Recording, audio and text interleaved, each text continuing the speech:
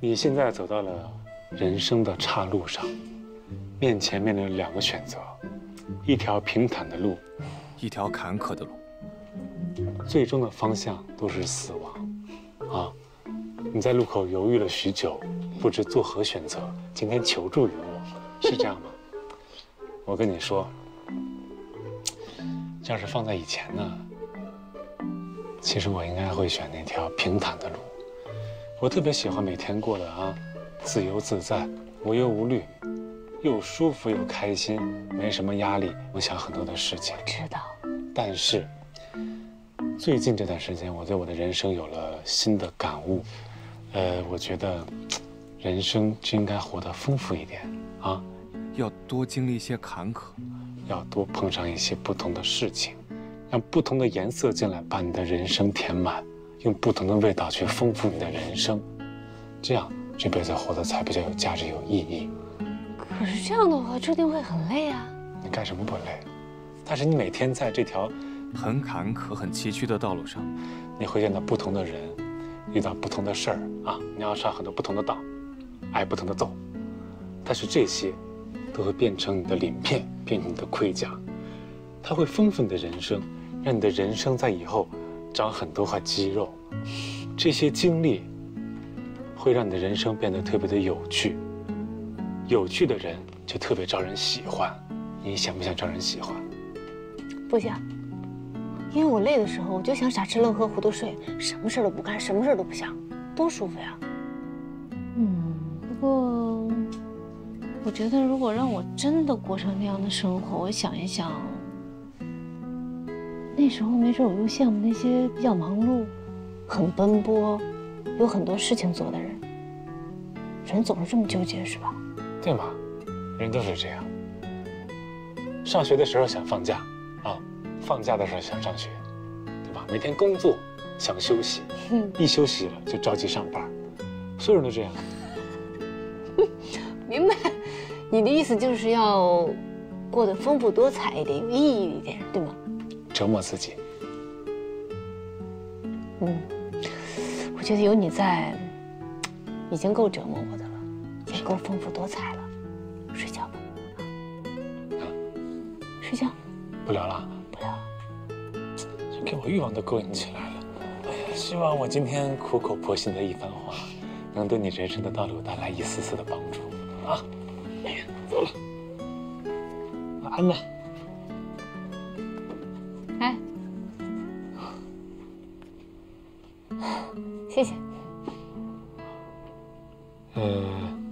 睡个好觉啊。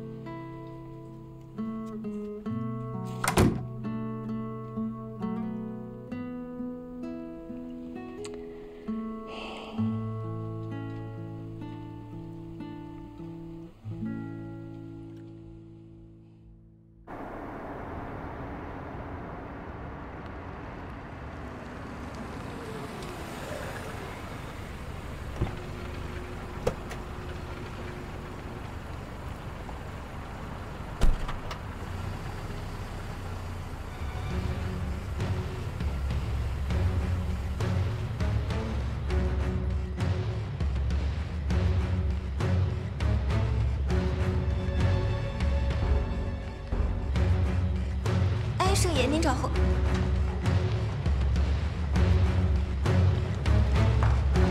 去，把门给我打开。哎呦，盛爷，您是？中了吗？没肿。发型呢？没乱。去把门开开。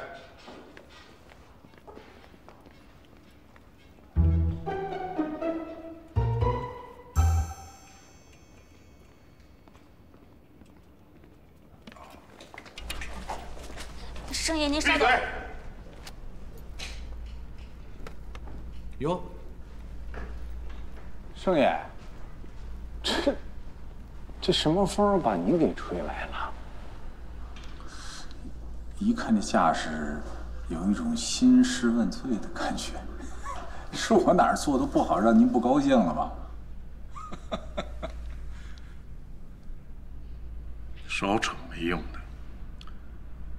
咱俩合作这么多年，吵过，急过，但好在咱俩的性格都是直来直去的，把话说开了，不留间隙，也就 OK 了。所以，咱俩的交情才走到了今天。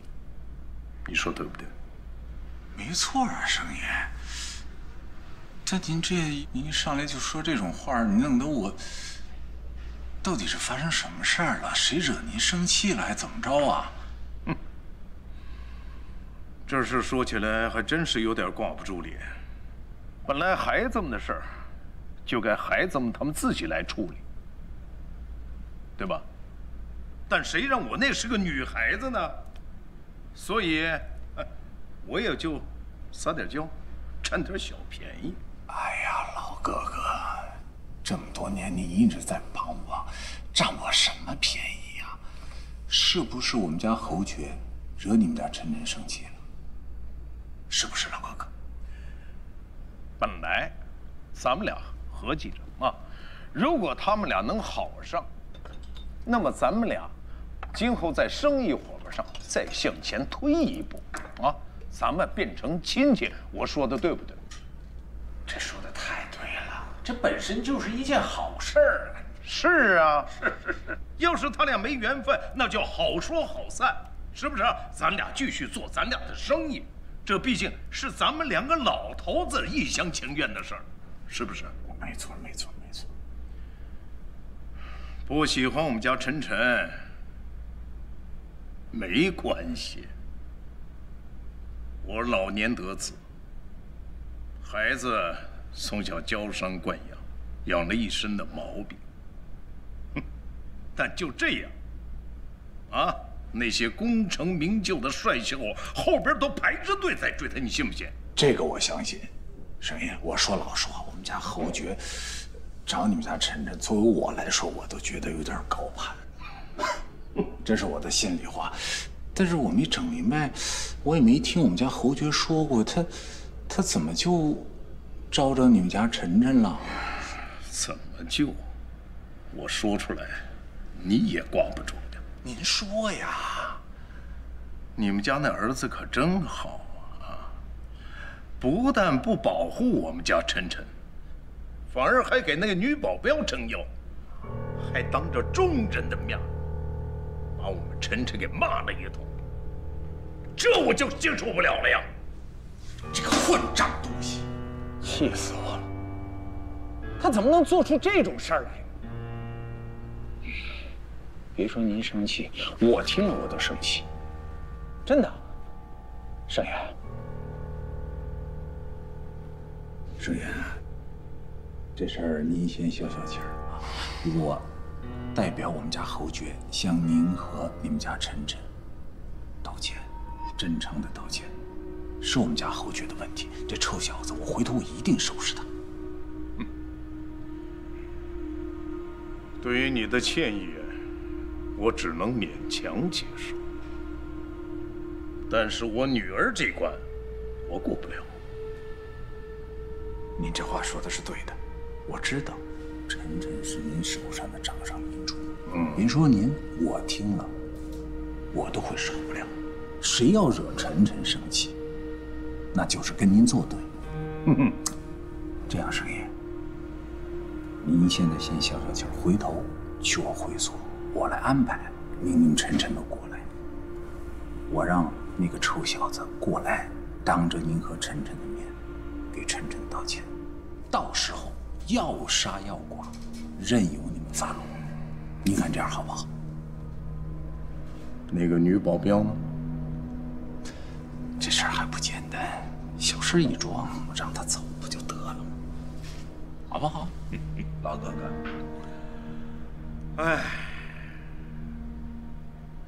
沏茶吧。好，沏茶，沏茶。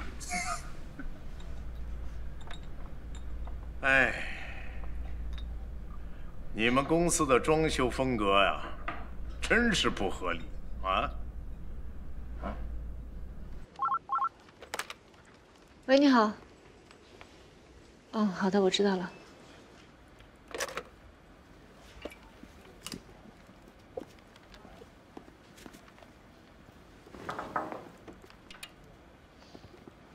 侯总找我，我过去一下。肯定是晨晨的破事儿。不知道，我陪你去。不用，他让我自己去，没让你去。没事。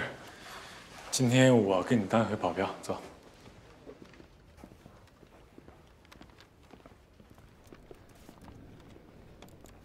哎，小侯总，侯总他，你就在门口等我吧。侯总，您找我。嗯，坐吧。十一啊，算起来你到公司来了，也快有两个月了吧？虽然说中间起起伏伏经历过好几次波折，但是不管发生什么事儿，你都能一直尽职尽责的做好你自己的本职工作，这让作为甲方的我很满意。谢谢胡总。我呢，当时为侯爵挑选这个女保镖呢，我是看中女保镖身上的稳重心细，不光是要保护她的人身安全，同时呢，还要约束她的行为，少让她惹是生非。不过现在看来呢，我的这个想法太简单了。你说两个单身男女全天候二十四小时都在一起，难免呢会产生一些化学反应。其实这个我也能理解。你说就算是养个宠物，时间长了也会有感情，更何况两个大活人呢？这方面我们公司有明确的规定，不能跟雇主谈恋爱。我会严格遵守的，您放心。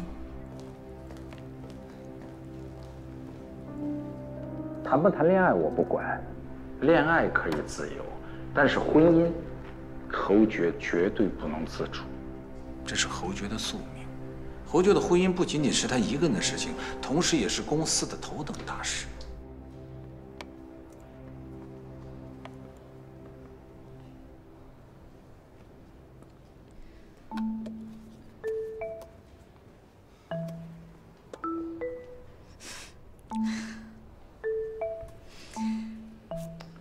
十一啊，我就跟你实话实说了吧。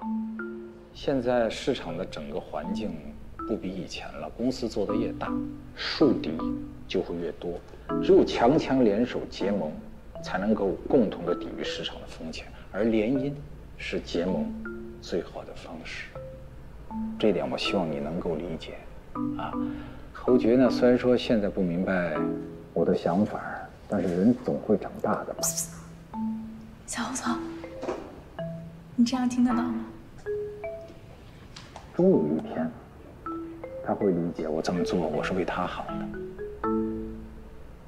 还有啊，石爷，方路介意你，我不会放在心上；但是晨晨介意你，我就必须得认真对待了，因为你要清楚一点，晨晨。是我为侯爵挑选的未来的结婚对象。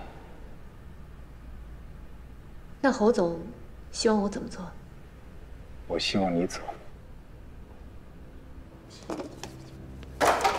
侯总，这跟十一有什么关系？让他走干嘛？关你什么事儿？你先出去。没看见我正在跟十一说话吗？这是我保镖，说他的事我听听，怎么了？十一，你先出去吧，我跟侯杰说几句。好的。嗯。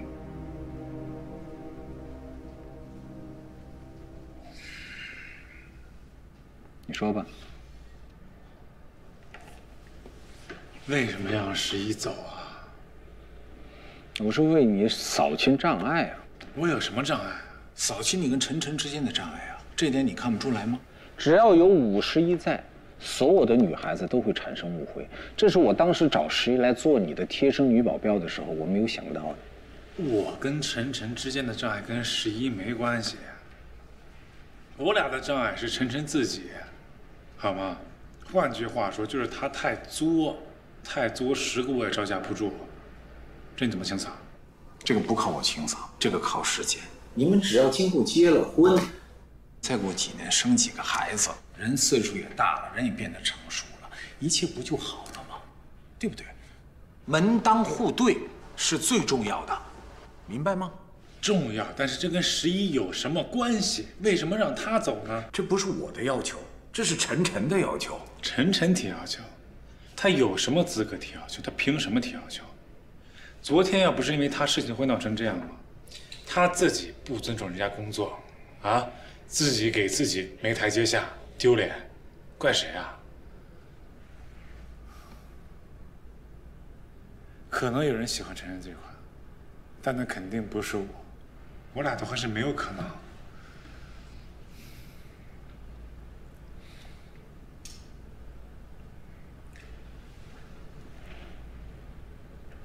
侯爵啊，明天我会在会所招待盛爷跟晨晨。如果说你拿定主意不想解聘十一，但同时又不想跟晨晨好，你就自己去想办法，想想有什么招可以缓和你跟晨晨之间的关系，你明白吗？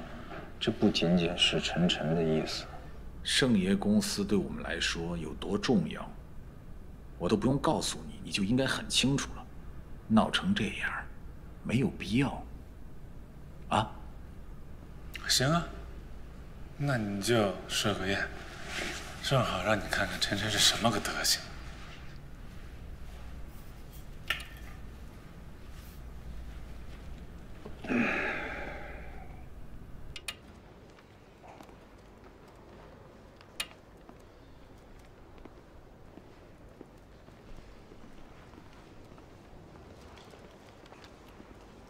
我马上收拾东西走人，不给你添麻烦。想得美，给我找完妈妈就想走啊？没门儿！告诉你，老实待着能不能？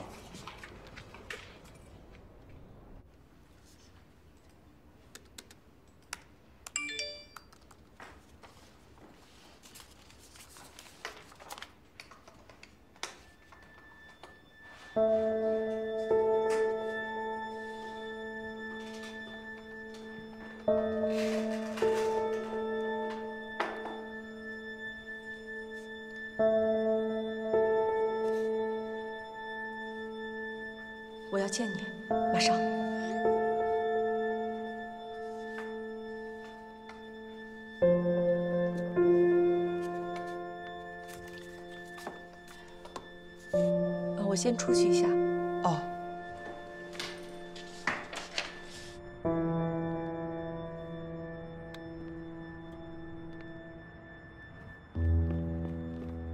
小敏，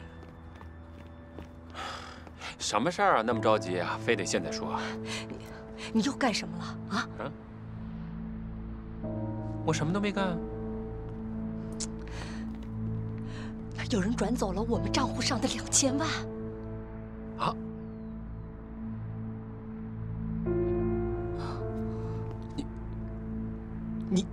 你被黑了你？哎呀，你还有心情开玩笑？这这这什么情况啊？这到底怎么回事啊？啊？我跟你说啊，哎呀，我怕钱放着不安全，就转到国外一个朋友那里，让他帮我们买套房嘛。你不是一直想离开吗？我得安排好啊。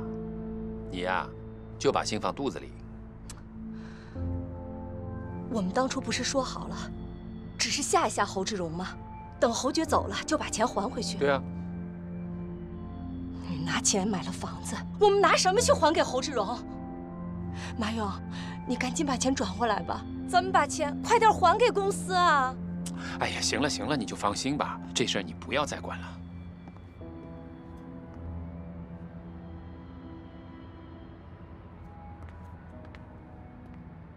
马勇，黑小区的物业公司和智荣网站，我是为了帮你出口气。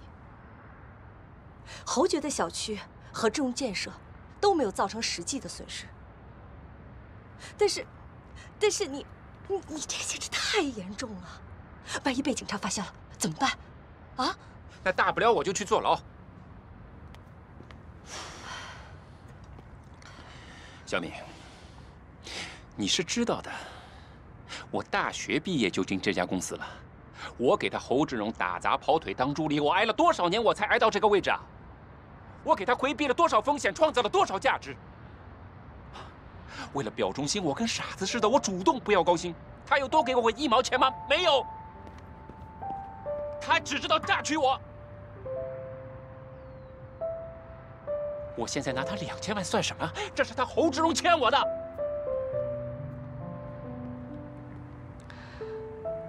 我知道，你的意思是侯志荣，他一直利用你，他说话不算话。但是这样，你既然不信他，咱们可以走啊。为什么我要走啊？他许诺我做公司接班人的，你知道的。他跟全公司的人说，我比他的亲儿子还要亲，公司需要我。我傻，我信，我全信他的话，所以我把公司的利益、他的利益永远的放在第一位。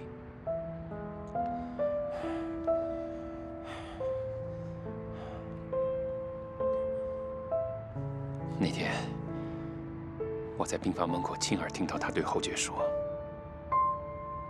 马勇工作勤勤恳恳、兢兢业业，但他是外人，外人就有外心。”外人就有外心，所以不得不防。我努力了十三年，却换来了他那么一句真心话。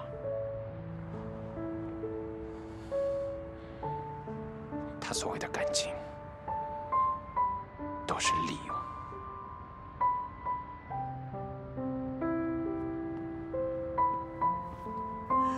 你这样做会后悔的。你在犯罪，我们逃不掉。我只希望你每天开开心心的，平平安安的。我我不想你坐牢。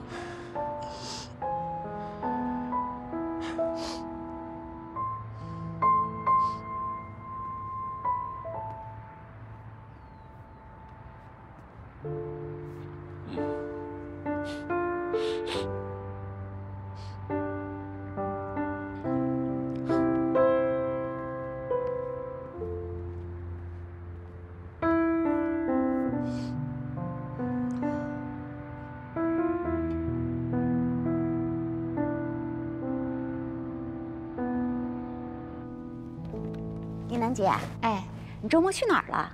我看你发的照片，好美哦。度假酒店，准女婿开的。女婿真能干，酒店那么漂亮，还靠着海边，还可以吧？刚开始营业。哎，你们要想去的话，我这有 VIP 卡，可以打折的哦。哇，你这个女婿啊，真是又能干又体贴，真是难得。羡慕吧？羡慕死了。快看资料吧！你说这包他能喜欢吧？应该可以吧，这么贵。哎，这这这不那谁吗？那老熟人。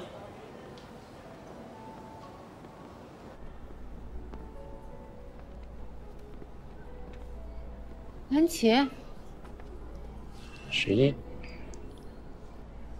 小郝总，蓝总这是陪女朋友逛街呢，啊，人呢？蓝琪，你看我这身衣服。蓝琪，妈，这衣服真好看。爸，哎，十一，不是你们这是什么情况？啊，那个阿姨不是周六过生日吗？我说我买件新衣服，大家高兴高兴。啊，过生日啊？不早跟我说，阿姨看好哪件了，我刚来给你买了。这两件不错是吧？旁边还有什么店？咱们看看。走，阿姨。哎，不用不用，真的不用。其实我都说不过了，但是蓝七说他有消费卡，不用就过期了。对，不用就太可惜了。用什么消费卡呀？别给我省钱，走。哎，不用不用，真的不用了。你们这是要……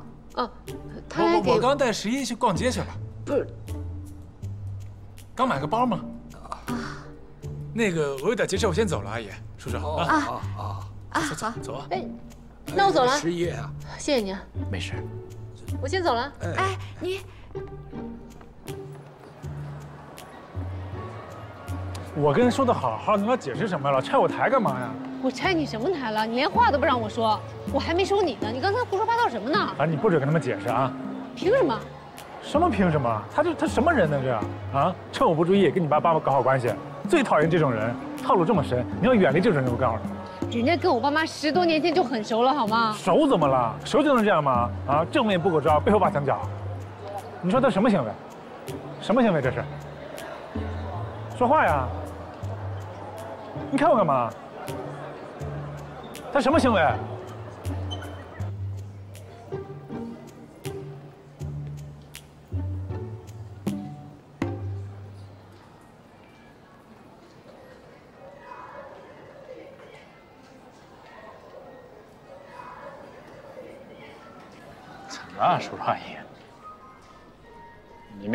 要是觉得我会介意侯总送十一礼物，你们就真的想多了。那包真的挺贵的，凭我对十一的了解，他是绝对不会收的。啊，是是那是肯定的。再说了，我是我，他是他们。我认识十一的时候，他还上小学呢，对吧？对。他从小那么多人追，我早就习惯了。对对对，但但我们家十一是很专一的。叔叔阿姨啊，我呢，爸妈走得早，所以其实我一直心里面是把您二老当爸妈对待。十一忙，我替他孝敬你们。兰琪，你能这么说，阿姨这心里，唉，是个好孩子。行了，咱们吃饭去。好。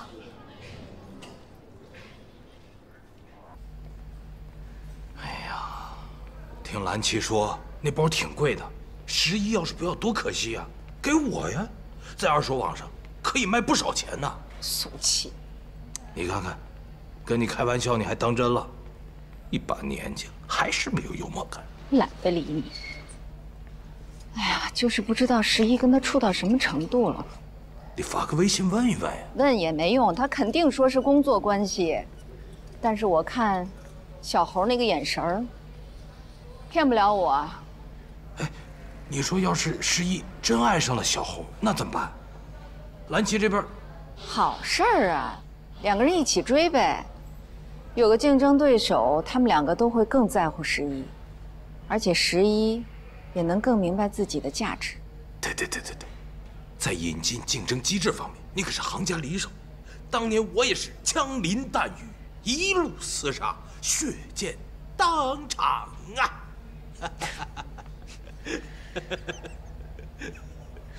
我怎么会嫁给你呢？你跟我到这儿干嘛来了？你不要送我吗？谁要送你了？你家那么近，自己走回去。我还有约会呢。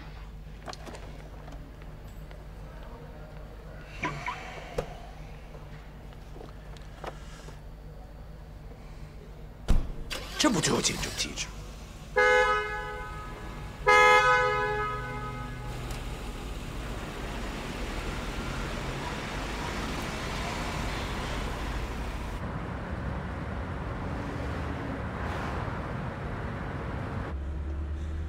哎，你把你那个爸妈电话给我一下。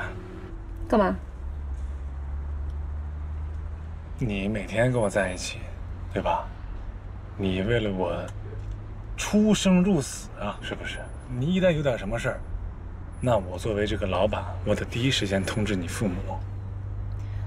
不用，万一我有点什么事儿呢？你可以通知我们公司，公司会通知我父母。你公司通知那是公司通知，对吧？我通知那感觉完全不一样，我得直接通知你父母，这显得有诚意啊，做人。哎、行行行行行了啊，别想那些没用的，你赶紧想想，一会儿去了餐厅怎么跟那个晨晨道歉了啊？我道什么歉？我不道歉，我现在要电话，我跟你父母先把关系搞好。哎，这么一来呢，这这事情慢慢就正常的发。没电话。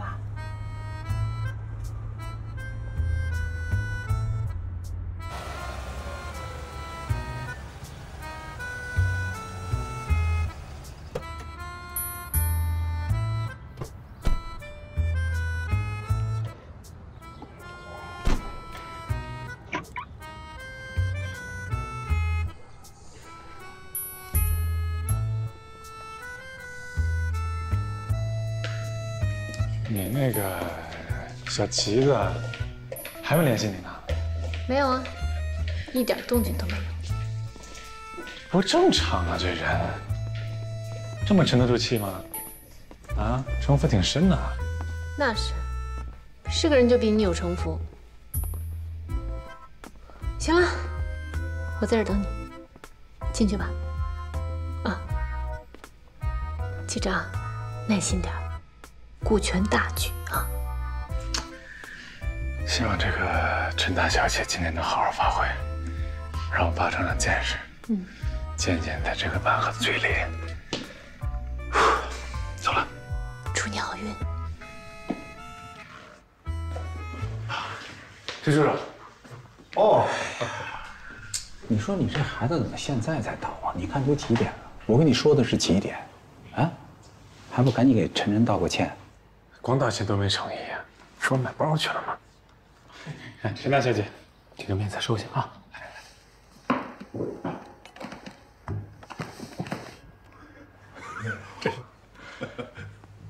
有眼力劲儿啊！收下，看看好不好看？不好看，我让我儿子再重新给你买一个。马上去买。还行吧。哎，好了，来，儿子啊，拿起你的酒杯，来，盛爷。哦，呃，我呢代表我儿子啊，给晨晨和盛爷赔个不是，道个歉。严重了，严重了！我儿子太不懂事了啊，多多包，多多包啊！我有什么罪啊？你惹人家女孩子不开心不高兴了，这个对男人来说就是一种罪过，明白吗？那我这是罪该万死，罪该万死啊！那那赔个罪，我也给你赔个罪。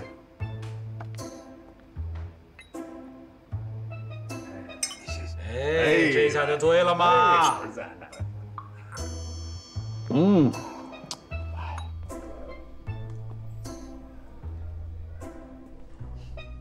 哎，志荣啊，哎，非常感谢你啊啊！就是为了他们这些小辈的这点小事啊，还得劳您亲自出家。哎呀，您这话就说的外场了。年轻人年轻气盛，嗯，脾气大，这都可以理解。闹闹别扭，关系反倒会更好。嗯，你忘了咱们在年轻的时候，拌没拌过嘴，吵没吵过架？对对对对对。晨晨，那时候我跟你志荣叔叔在一块合作的时候，那时候是谁也不相信谁呀啊，架可真是没少吵啊。对呀，我跟你说呀，那会儿你爷爷退位，我进公司，我年轻啊，我什么都不懂，是盛爷，在我人生最重要的阶段帮了我很多的忙。我们俩经常为一些生意上的事儿，俩人坐下来拍桌子摔酒杯，什么事没干过。对不对，盛爷？现在怎么样了？还不是好好的。我觉得人既然有缘相识，大家就要重视这个缘分啊！我跟盛爷都看好你们俩。嗯啊，好好。侯爵，你那个女跟班辞了吗？没有。啊，哎，丫头，这事行了啊，过去了，何必跟一个小丫头去较劲呢？是吧？爸，我不是跟她较劲，她就是个跟班，我犯不上。我去让她滚蛋！晨晨，替你和我叔叔说句话，那女孩真不能滚蛋。那女孩是我专门从安保公司请来保护我儿子的。她原来是运动员出身，拿过冠军，拿过奖牌。她的业务能力那绝对是杠杠的。有她在我儿子身边，盛言你也知道，我就这一根独苗，我这心里会踏实不少。嗯，是是是。啊，怪不得那么垃圾。越是这样，他越得走。哎，你你先，可是人家没做错什么，干嘛要走啊？他怎么没做错啊？他欺负我，讨厌他，这够吗？啊啊！晨晨，够够，这样这样这样，侯叔让你今天心情愉快啊！你这样，把那谁给我叫进来，给晨晨道个歉。您说呢，盛爷？这是个好主意啊！啊，只要把人叫来，双方一见面，把事一说开了，这什么事也都解决了，是不是？好，去。那我去不了，去不去？你们开心就好啊，你们开心就成。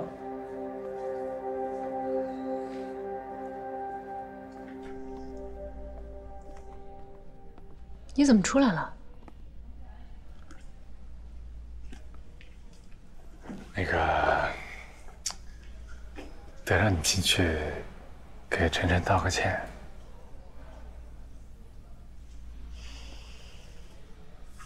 就我给我爸个面子，晨晨怎么说都不行啊！咱们就道个歉，多的什么也不说。好，那我说什么？你就说，你就说，你就说我给你道歉，就得了呗。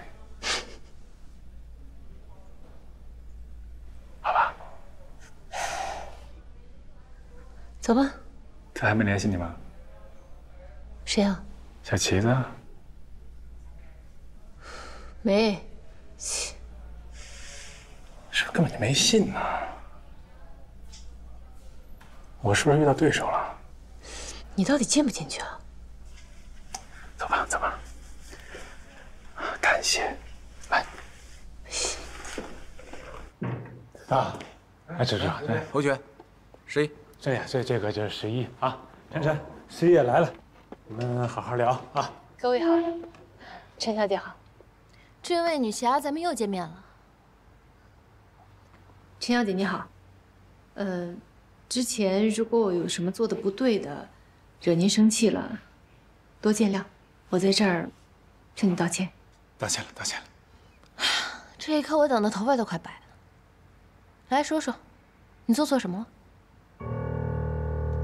丫头，醒了啊。不行。嗯，你说我做的哪儿不对，那就是哪里不对吧？我就想问你，那天你是不是故意让我出丑的？我没有。你有。你这是给我道歉的态度吗？晨晨，人家已经说道歉的话了，干嘛还揪着细枝末节不放？坐下。算了，看在侯爵送我礼物的份上，我不问这个。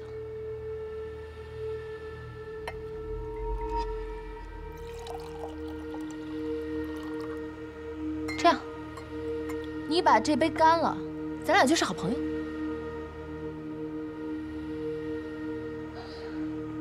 陈小姐，谢谢你的好意，但是酒我不能喝，这是我们的忌日。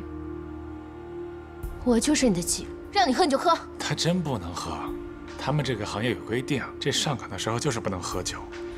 那你要就看着生气，这样吧，反正你们这朋友做不成了，我替你把这酒喝了吧。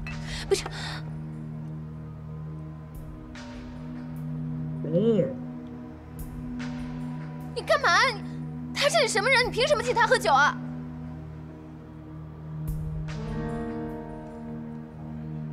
哎呀，你这道歉还哪有诚意了呀？酒都喝了啊，咱别没完没了的了。可以啊，我不没完没了。哎哎，这样，你把这杯干了，这杯干了我就算了。我真的不能喝，晨晨，这是人家这个职业的规矩，有这个规定，对吧？咱们最起码得尊重人家职业吧。不是，那什么意思啊？到底是他的职业重要，还是我重要？你以为你谁啊？我告诉你，我分分钟就能让你把工作丢了，你信吗？你不就是一个跟班的吗？你不就是一个人肉盾牌吗？你不就是一个看门狗吗？不许侮辱我的职业！我就侮辱你职业了！晨晨，干嘛呢？滚！行了行了，